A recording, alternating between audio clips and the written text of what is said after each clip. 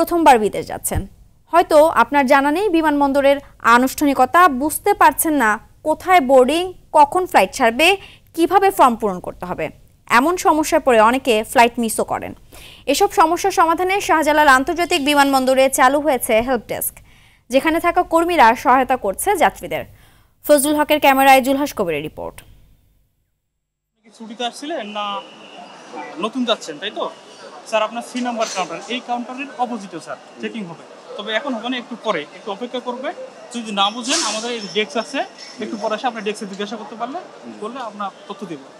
ঠিক আছে স্যার? বুঝাই দেবো কীভাবে সাহায্য করতে পারি? লেখা উত্তরীয় গায়ে হজরত শাহজালাল আন্তর্জাতিক বিমানবন্দরের বিভিন্ন পয়েন্ট ঘুরে বেড়াচ্ছেন বেশ কয়েকজন। যাত্রীরা প্রয়োজনে তাদের নানা প্রশ্ন করছেন। বিশেষ করে প্রবাসী যাত্রীরা আসছেন, পাচ্ছেন সমাধানও। আবার কখনো কখনো এই সদস্যরাই সংশয়ে থাকা যাত্রীর কাছে গিয়ে সমাধান দিচ্ছেন।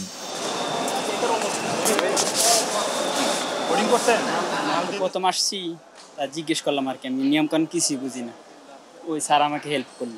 আমি অনেক খুশি অনেক হ্যাপি এরকম সার্ভিস দিতে থাকলে সবার কাছেই ভালো লাগবে। কীভাবে সাহায্য করতে পারে এটা দেখে আমি বুঝতে পারলাম যে তার কাছে জিজ্ঞাসা করলে কিছু বুঝতে পারব। আমি নতুন অবস্থা যাচ্ছি তো। নতুন চালু হওয়া হেল্প ডেস্কে প্রতি শিফটে প্রায় বিশ জন করে দায়িত্ব পালন করছেন। দিনরাত চব্বিশ ঘন্টায় সেবা পাচ্ছেন যাত্রীরা। বিমানবন্দর কর্তৃপক্ষ বহির্গমন টার্মিনালে তিনটি এবং আগমনী টার্মিনালে দুইটি ডেস্ক স্থাপন করেছে। ফোন করল স্যারে বলল একটা দশে নাকি? একটা দশে ফ্লাইট কোন ইয়েতে রুতে আর কি ইয়ে হবে চেকিংটা হবে বা ওনাদের ফ্লাইট কখন? হ্যাঁ সেই বিষয়ে জানতে চাইলে আমরা সেগুলো আর কি ওনাদের ভালো করে বুঝাই আর তিন মাস আমাদের রানিং আলহামদুলিল্লাহ এ- আমাদের সার্ভিসে অনেক ভালো হচ্ছে এবং প্যাসেঞ্জারদের অনেক উপকার হচ্ছে। প্রতিদিন দুই থেকে তিন হাজার লোক আমাদের সাথে আসে সাক্ষাৎ করে এবং বিভিন্ন প্রবলেম নিয়ে আসে।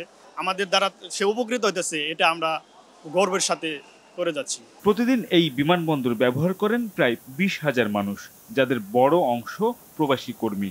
তাদের পাশে দাঁড়াতেই এই উদ্যোগ বলে জানালেন এই কর্মকর্তা।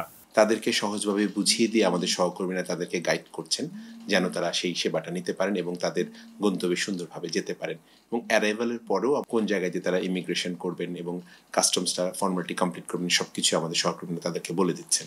বিমানবন্দর থেকে বের হওয়ার বেশ কয়েকটি পয়েন্টে নতুন করে স্থাপন করা হয়েছে টেলিফোন বুথ, যেখান থেকে বিদেশ ফেরত যাত্রীরা বিনামূল্যে ফোন কল করতে পারছেন।